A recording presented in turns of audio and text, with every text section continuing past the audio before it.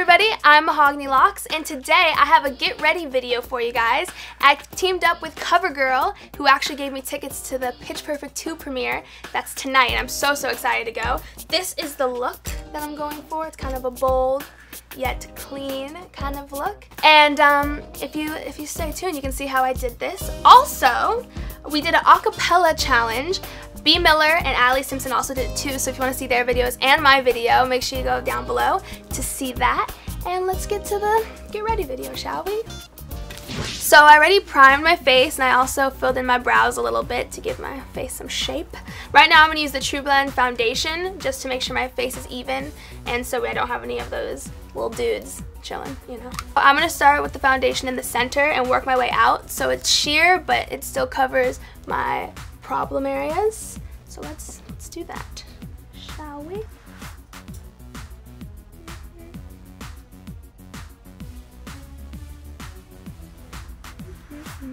So I always use foundation like this because I don't want to cover up my freckles. Dun, dun, dun, right before I'm done with my foundation, I like to take my hands and rub it over my face because the warmth of your fingers actually blends it in better and I think it looks natural. So I'm going to do a little bit of contouring to give my face some definition and I'm going to be using the foundation D3 in Honey Beige and pretty much I just go in and shade here, here, and here. To contour here, the guideline is to start at the top of your ear and then you go to the corner of your eye. To contour your chin, you have to start behind your ear and then go all the way to your chin on both sides so they meet up in the middle so people don't know you're wearing makeup even though you are. Secrets. So right now I'm using the CoverGirl Quad. They're all very neutral colors and I always tend to do neutral colors because I like it with my like eyes and my skin tone. I think it looks earthy. I'm using the second one because I want to do more of a golden bronze vibe.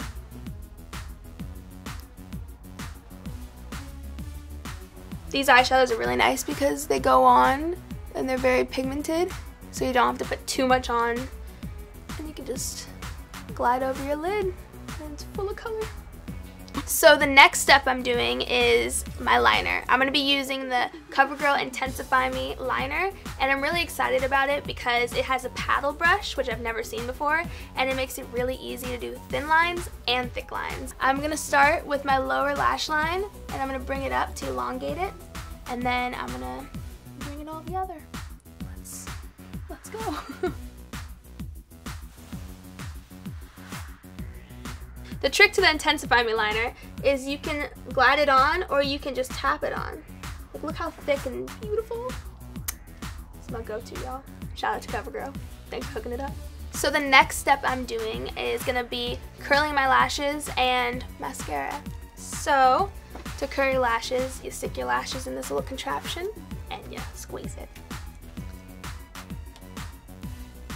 So now that my lashes are curled, I'm going to use the CoverGirl Super Sizer Mascara, which is really cool because the wand is actually really thin, but it gets all the little, the little lashes and makes them just as full as the big ones.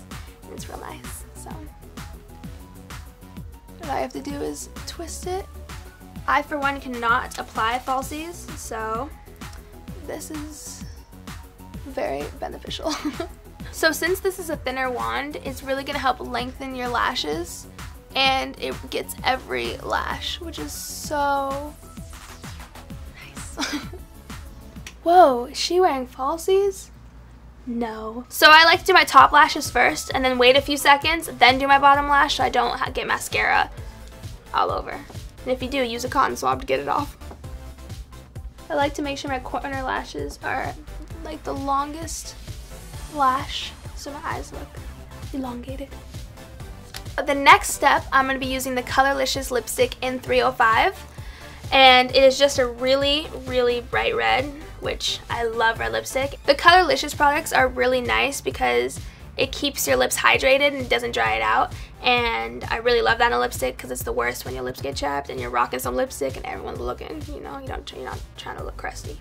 So I'm going to apply on the bottom and then do that little like thing just to blend it out. It's crazy because I have freckles on my lips and this is so red that it pretty much covers my freckles. And that was step one. So quick tip so you don't get lipstick on your teeth. You take your thumb, you put it in your mouth and you drag it out so it won't get on your pearly whites. Let's try it. Look at, look at that. Not on my teeth. That's where it's not supposed to be, so I'm glad it's not there. So now I'm gonna take the Lip Lava in 830 and I'm gonna apply it all over my lips just so I get a nice gloss and shine. So you can see my lips from a mile away. One thing about this gloss is it doesn't feel sticky like a lot of glosses do. Since I did the bold lip and eye, I decided instead of using blush, I'm just gonna use the quad again, but I'm gonna use the first color as a highlighter. I'm gonna highlight my cheekbones and my nose.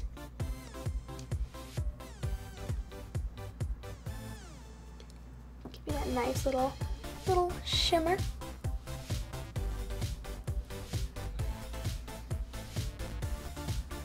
And that's all for my face. This is my final look.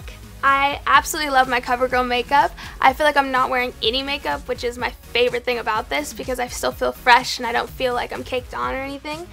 And for my outfit, I am wearing a whole bunch of fringe.